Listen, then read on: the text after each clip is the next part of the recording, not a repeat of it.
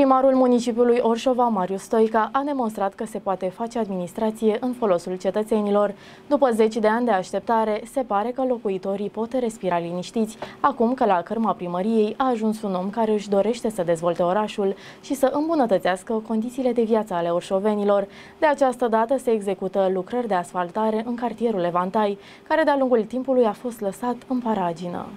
Datorită implicării primarului Marius Stoica, Orșova este un șantier în lucru. În acest moment, cartierul Levantai se află într-un amplu proces de reabilitare și modernizare. Aici, lucrările de asfaltare sunt întoi. S-au construit trotuare, s-au executat accese la blocuri, s-au montat guri de scurgere pentru apele pluviale și au fost montați stâlpi de iluminat public de ultimă generație.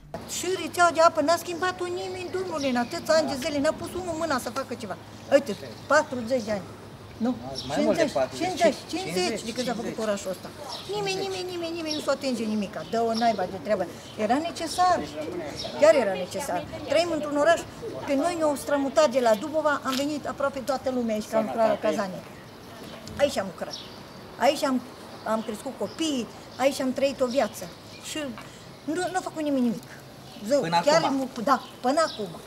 Mulțumesc, domn primar, spun și lui. În cartierul Levantai nu au mai fost realizate investiții de 50 de ani. Zona era impracticabilă, iar atunci când vremea era nefavorabilă, se strângeau cantități mari de apă, infrastructura rutieră era grav afectată, acest loc fiind uitat de foștii edili ai municipiului. Noroaiele și gropile făceau parte din viața cotidiană a oamenilor din zonă. Edilul Marius Stoica a înțeles doleanțele cetățenilor și susținut de președintele Consiliului Județean Mehedinția din Georgescu, a început rezolvarea tuturor tuturor problemelor pe care comunitatea pe care o conduce le are. După mai exact 50 de ani de așteptare, locuitorii din cartierul Evantai din municipiul Oșva în sfârșit se pot bucura de un uh, confort normal, zic eu, dar a fost nevoie să se aștepte undeva la 50 de ani. La momentul acesta ne aflăm în uh, cartierul Evantai, Uh, am executat până acum reabilitarea fiecarei alei care duce la fiecare scară de bloc. Am uh, executat, chiar în spatele meu se poate observa, o parcare nouă care tocmai a fost asfaltată. Mai avem pe strada Castanilor încă două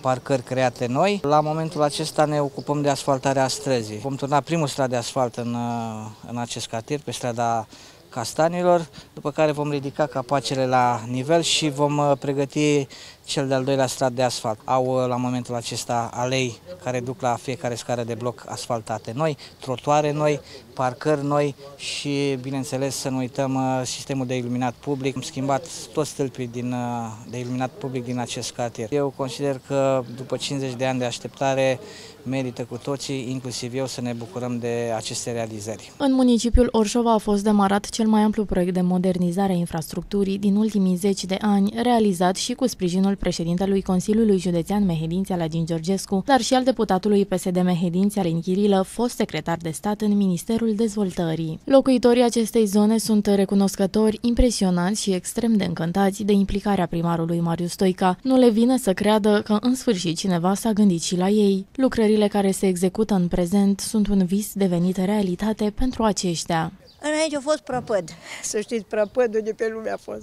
Chiar mă bucur, zău, să-i dea Dumnezeu sănătate la domn primar și la toată echipa lui care a fost în primărie, că ă, uitați ce-au făcut, un, un lucru de super, suntem bucuroși. Atâția primari s-au perindat în orașul ăsta, n-au făcut nimic, chiar nimic nu au făcut.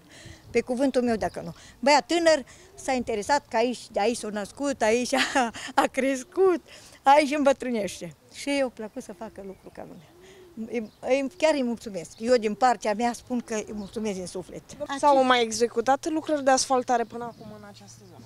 Nu, nu, nu. Din 1981, de când stau eu aici, nu au fost. După părerea mea, înainte nu arăta prea bine, nu?